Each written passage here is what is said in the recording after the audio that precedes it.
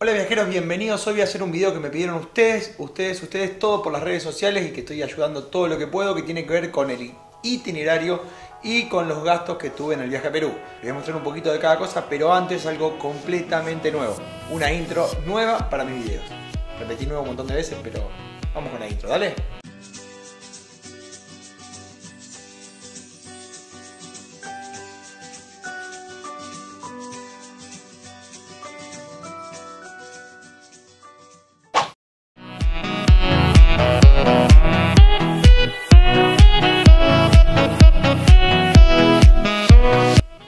Es un video que me pidieron mucho que tiene que ver con obviamente lo que es el presupuesto para ir a Machu Picchu. Yo les voy a contar un poquitito, es una pequeña ayuda de memoria en el cuaderno.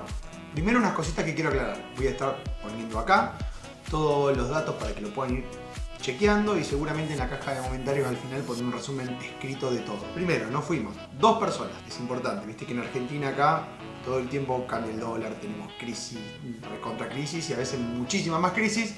Así que bueno, quiero aclarar estas cosas. Nos fuimos 15 días, dos personas, desde el 9 de marzo de este año 2019 al 24 de marzo del 2019, con un dólar promedio de 44 pesos. Nos tomamos 6 aviones, dos con la compañía aérea Latam, de la ciudad de Rosario hacia Lima, a la ida, y a la vuelta el mismo Lima-Rosario, digamos, y después dentro de Perú hicimos Lima, hicimos Cusco, de Cusco nos fuimos a Máncora, bien al norte, y finalmente volvimos a Lima y estuvimos otro día más y volvimos.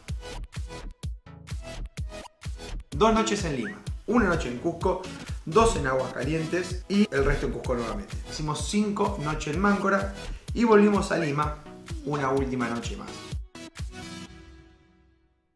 En Lima tomamos una excursión que era eh, a colaboración con unos chicos que estaban ahí y eran estudiantes de turismo.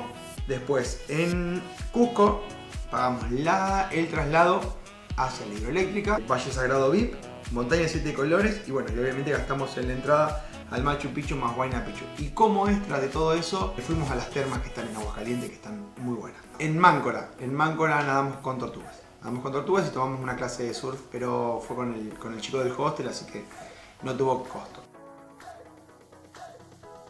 Como extra a todo esto, viajamos con Viva Air, no podíamos llevar equipaje despachado. Nos cobraron el primer día el check-in al no llevarlo impreso y el, el, tamaño de la valija es un poquito más, más chiquito que el del resto de las compañías no low cost. Nos manejamos mucho con Uber, eh, los traslados del aeropuerto a los hostels, siempre saben que los aeropuertos quedan lejos. Saben que el camino de la hidroeléctrica, como pudieron ver en el video seguramente, si no, en caja de comentarios está, hicimos Huayna Picchu, Machu Picchu, llegamos ahí caminando también. Nos hemos manejado en mototaxi, en taxi, en Uber, en colectivo de línea. Y después el tema de las comidas. Lima es por ahí un poquito más caro que el resto. Cusco es muy barato y Manco era ni hablar. Cuando digo muy barato, para nosotros los argentinos en ese momento nos salía 10 soles.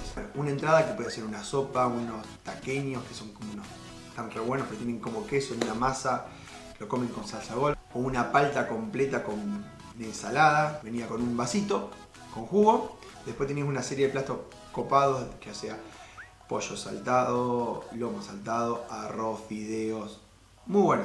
Y después tenías un menú de 15 soles que era un poquito más. De hecho, pasás tantos días comiendo tan barato que al final cuando algo vale 30, 40 soles te llama la atención y es lo mismo que costaría hoy acá, 400, 500, 600 más. Nos dimos algunos gustos, en Lima gastamos un poco más, también hemos ido a, algún Burger King, algún McDonald's, pero por lo general comíamos en estas comidas típicas que están muy buenos, nos han invitado a comer, algunos de los viajeros, viajeras, Paola por ejemplo, hemos invitado a nosotros a comer por, por una devolución de, de, de, gentileza habernos ayudado tanto.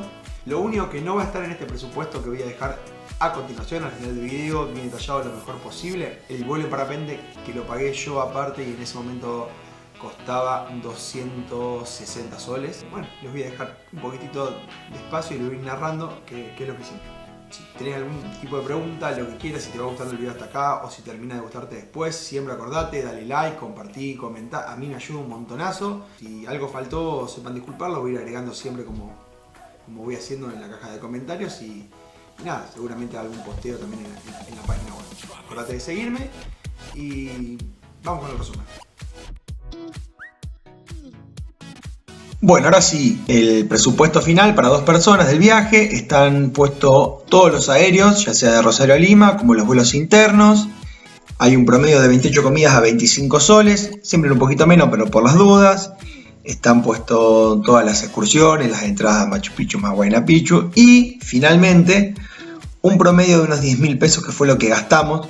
¿Cómo sacamos esto? Nos fijamos los gastos con tarjeta que tuvimos, los dólares que gastamos, etcétera, etcétera.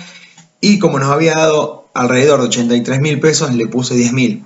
En estos 10 mil pesos incluyo gastos como cerveza, helado, algún medicamento, pero también como el, el City Tour gratuito este que tuvimos que colaborar, algunos regalos que uno puede llegar a comprar, cosas así que son gastos cotidianos que no estaban contados en lo básico de cada día.